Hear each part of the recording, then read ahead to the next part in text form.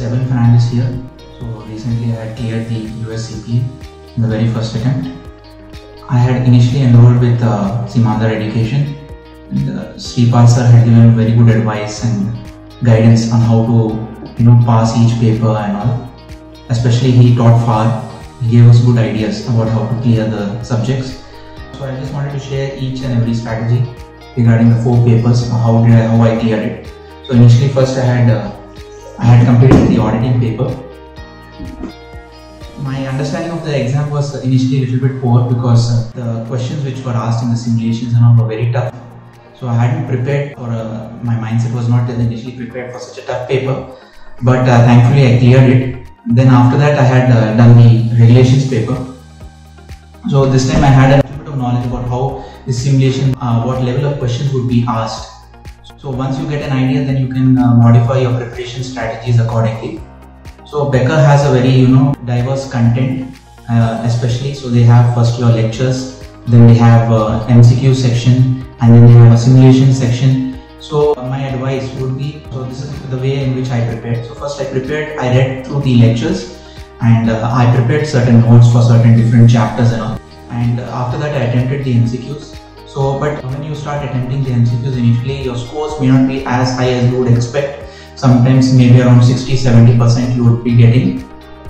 Okay, some chapters maybe even 50%.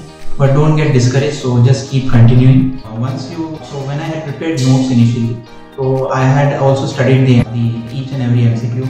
Like for example, why you got this particular MCQ wrong? What was the reasoning behind that? So these particular points you can just add to whatever notes you prepare. So once you prepare those in detail, then you can go and uh, start attempting the simulations. Try to attempt the simulations. I would suggest try to attempt the simulations on your own. So once you attempt the simulations on your own, then you will have an understanding about what is the level of questions they are asking. Okay, and uh, also try to attempt simulations that are, that are very lengthy. So that will give you a sense of time management, especially during the exam. You may get simulations which are very difficult and very lengthy. So you prepare your mindset for that. Okay, and uh, now once you attempt the simulation, you may get around say around 50% correct. So then just try to go through the this, the videos and see uh, how to answer each and every question. So once you get an idea, then you can also add those particular points to your notes. And uh, just one week maybe before the exam, you can go through all your notes and you can uh, complete understanding of the chapter or topic of uh, what you want to study. Then after that, uh, finally, just before the exam, I would suggest three days, four days, you can attempt uh, uh, the papers. So first attempt uh, paper one, then paper two, paper three. So initially, when I had attempted, somewhere you, I would get around 50 to 60 percent say, and then then I would study once again, and then I re-attempt the next exam and the simulated exam. Then you would get uh, probably just a little bit more.